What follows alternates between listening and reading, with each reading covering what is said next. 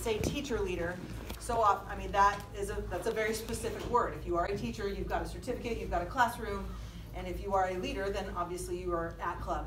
But we want to be more inclusive in our definition of what that is, um, for the sake of the elementary music teacher who wants to lead WyldLife.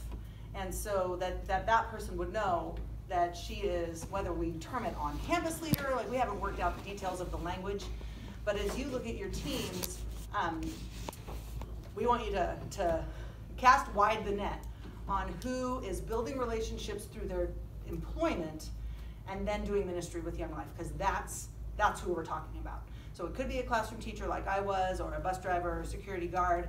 Elementary school teachers are this vast, untapped market. Mm. There are so many elementary teachers who love Jesus, have who spent an entire year with this fourth grader, who's going into the sixth grade now, who would kick ass as a WyldLife leader, and we just never ask them. So as you're praying about um, on-campus leaders in your area, I would encourage you specifically to think of that group. Um, another thing that Jeff and I had talked about is meaningful ways for those people to be involved if leading full time is more than they can wrap their life around.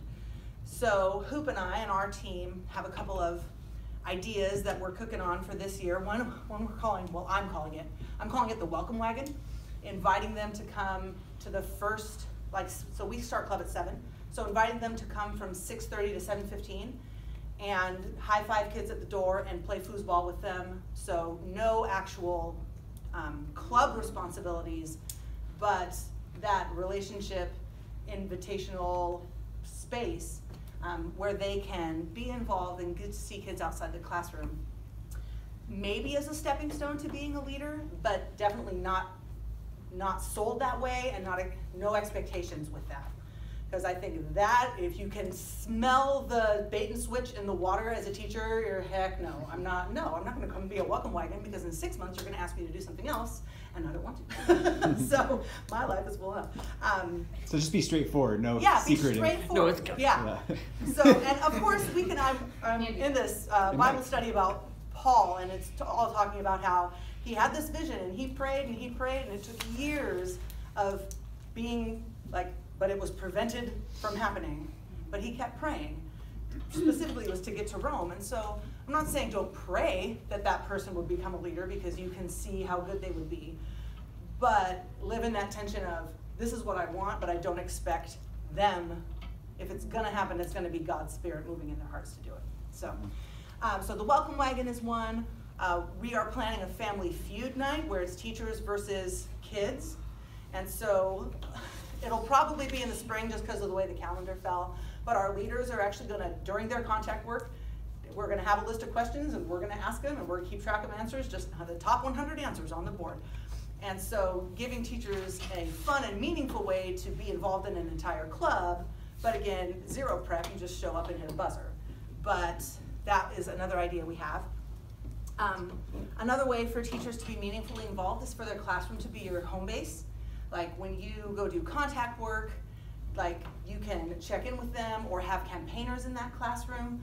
A lot of teachers, uh, as you well know, have, um, I can't think of the adjective. Prep period? Well, no, they have prep period. They're nervous about faith things happening in their room, right? And so that's often the reason why they don't step into Young Life Ministry is because I like my job and I want to keep it.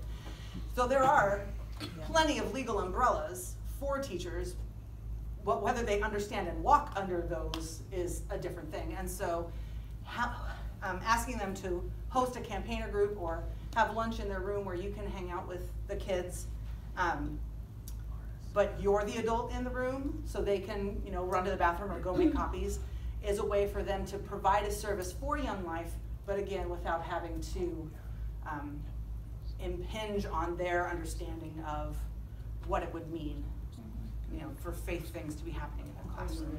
They're, yeah, yeah. In their room, very Well, that depend, that's school to school, like, like, when I was teaching at Davis, kids just came and ate in my room. They weren't supposed to, because we had a new building, and so the administration was like, rah, rah, rah. but I'm not gonna kick a kid out. And so we didn't have Bible study or anything, they just hung out in my room. So we'd watch the sing-off on, I'd put the, put my computer up on the screen and watch the sing-off every week. And it was just hangout time. So for me, I'm like, ooh, contact work, you know, let's watch. We watched TV shows and stuff like that. And so if you're, if there is a teacher on staff who is willing for that, or a teacher in your schools who's willing for their space to be a place for you to just be with them, that might be a way, especially later in the year, once you've got a couple of relationships going, that is relationally more efficient at building relationships than in the cafeteria. At Davis's cafeteria, there are a thousand kids in the cafeteria at once. So, and at a table of 10, there could be four kids who know each other and four kids who don't know the other four. And that is a great opportunity as a leader to sit down and, you know, build relationships there. But there's a different kind of conversation that's gonna happen there than is gonna happen in Mrs. Walden's room when all these kids have second lunch together. So, so those are some ideas um, about meaningful ways to engage teachers, especially those who aren't wanting or willing or ready to step in. Um, the other thing I just wanted to remind those of you who have been around in the one year that we have attempted to have a champion, woohoo! But the champion had a baby. When champions have babies, it's very difficult for them to champion much of anything other than one. Okay. but not till April, you know. I got, I got, I got, you know, seven whole months. So, but even in that space, I would love do for, it, Laura. I would love for you as staff people to be able to communicate with your on-campus leaders that there is a, a resource for them who has who has walked this. Like I was a young life leader and a full-time teacher for eight years. So I, I know, I know what the Washington legal codes are. I know where the gray areas are, where if you feel like skating on relatively thin ice, you probably couldn't get away with it. I have um, strategies for talking, to, I had a couple of, I know that this works because a couple of people, I think, who, who was in Spokane, or the, the leader was in a Spokane school, so I don't know what area that was.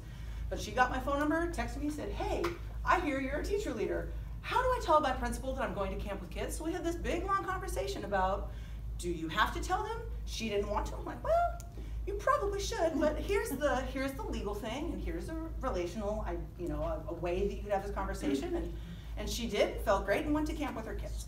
And but they she wasn't she was in that transition. She wasn't a club leader yet. She was taking kids from her school and then was going to step into ministry the next year. So so it was a great conversation, and that's really what I would love. Like when I think of teacher leader champion, that's what I want to do. Be a resource. I want to be a resource yes. for you guys and for them because I was I've taught in Sunnyside for five years, and I was invited every year, at least once, to come to club. My kids knew I loved Jesus. I had never been involved in Young Life, but I lived 45 minutes away from the school, so I wasn't about to hang out on Monday for four hours after school so I could go drink a gallon of milk with I mean, that just was not gonna happen, right? The band. And But- the band came. That- Well, there you go. It probably wasn't in, you know, the early two thousands, but, True. but if, if that staff person had, if there had been another way for me to be involved, either having campaigners in my room, or, hey, let me throw a sweatshirt at you and you could wear it on Mondays, because Sunnyside didn't really have, a- doesn't have a staff dress code at all. Just things like that, whether I could have supported the ministry without having to step in. There's a teacher leader newsletter that goes out once every three-ish months. So there was just one that got sent out. I try to include like a spiritual thought, you know, not all logistics, but it's the idea that, that the teachers understand the school year is a marathon, not a sprint. And so if, and Paul said to run in such a way as to win the race. So anyone who's done any distance running, and I've only done it once in my life, but you know you gotta plan pit stops. If you don't plan them and they're not there, you won't make it. And so my encouragement to them is to look at the whole year and plan spiritual pit stops for themselves. That to have one in the fall, and that's when I put our dinner, have one in the winter, hey, regional retreat, and then Yakima's planning another one in the spring. Like that's how we look at the year. Um, for the specific purpose of getting together with like-minded leaders who are on campus for their, for their jobs. Because it is a different beast than being on staff, than being a different, than being a regular volunteer. Um, so in those meetings, we can speak specifically to those challenges. That's the heart and the, the hope for.